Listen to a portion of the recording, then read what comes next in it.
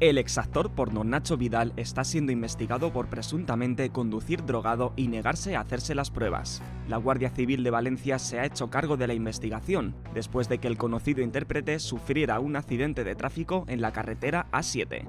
Tras el siniestro, Vidal se negó a someterse a las pruebas de detección de alcohol y drogas y fue trasladado a un hospital de Valencia donde sí se las hicieron. Allí dio positivo en cocaína, benzodiazepinas y marihuana, y además se le realizó un TAC por presentar un golpe en la cabeza.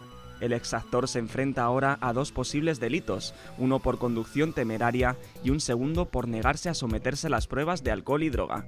En paralelo, Nacho Vidal sigue a la espera de juicio por el ritual del sapo, procedimiento por el que podría pasar hasta siete años de prisión.